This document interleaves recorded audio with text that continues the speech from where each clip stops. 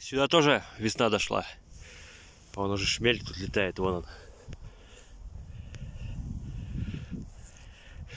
В принципе, не так холодно, плюс 7.